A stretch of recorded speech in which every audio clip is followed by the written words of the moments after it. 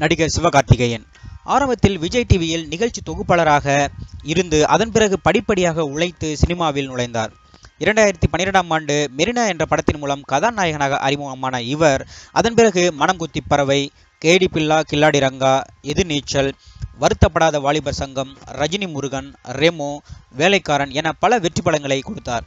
நடிகர் பாடகர் தொகுப்பாளர் மிமிக்ரி ஆர்டிஸ்ட் பாடலாசிரியர் என பன்முகம் கொண்ட கலைஞர் தான் சிவ நடிகர் சிவகார்த்திகேயன். அதன் பிறகு கனா என்ற திரைப்படத்தை தனது எஸ்கே புரொடக்ஷன்ஸ் என்ற நிறுவனத்தின் மூலம் தயாரித்தார். இதன் மூலம் தயாரிப்பாளர் என்ற புதிய அவதாரமும் எடுத்தார் சிவகார்த்திகேயன். அருண் காமராஜ் இயக்கிய இந்த படத்தில் சிவகார்த்திகேயன் சத்யராஜ் ஐஸ்வர்யா ராஜேஷ் மற்றும் பலர் நடித்திருந்தனர். இரண்டாயிரத்தி பதினெட்டாம் ஆண்டு டிசம்பர் மாதம் இருபத்தி ஒன்னாம் தேதி வெளியான இந்த படம் வெற்றி பெற்றது. இதனால் சிவகார்த்திகேயன் தனது எஸ்கே புரொடக்ஷன்ஸ் நிறுவனத்தின் மூலம் இரண்டாவது படத்தை தயாரிக்க திட்டமிட்டார். அதற்கான படத்தின் தலைப்பு நேற்று வெளியானது. படத்தின் பெயர் நெஞ்சம் உண்டு நேர்மை உண்டு ஓடு ராஜா என்பதாகும். இந்த படத்தில் ரியோ ராஜ் ஸ்டின் காஞ்ச்வாலா ஆர்ஜே விக்னேஷ் நாஞ்சில் சம்பத் ராதா ரவி மற்றும் பலர் நடிக்கின்றனர்.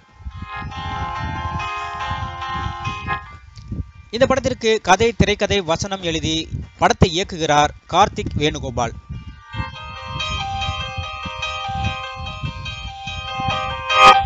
இந்த படத்தில் கதாநாயகனாக நடிக்கிறார் ரியோ ராஜ். இவர் சன் மியூசிக்கல் தொகுப்பாளராக இருந்து பின்னர் விஜய் டிவியில் சரவணன் மீனாட்சி தொடரில் நடித்து பிரபலமானவர். மேலும் ரியோ ரியோராஜ் கதாநாயகன அறிமுகமாகும் முதல் படம் இதுவாகும்.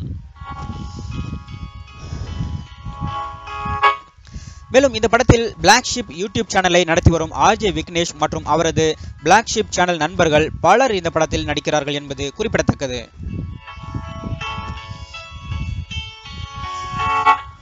மேலும் இந்த படத்தில் ஆர்ஜே விக்னேஷ் பாடல்கள் எழுதி பாடலாசிரியராகவும் முதல் முறையாக அறிமுகமாகிறார்.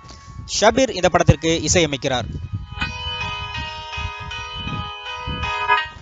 நெஞ்சமுண்டு நேர்மையுண்டு ஓடு ராஜா திரைப்படம் காமெடி படமாகும். இதனால் இந்த படம் ரசிகர்களுக்கு நிச்சயம் வெற்றி படமாக அமையும் என்று கூறினார் சிவகார்த்திகேயன்.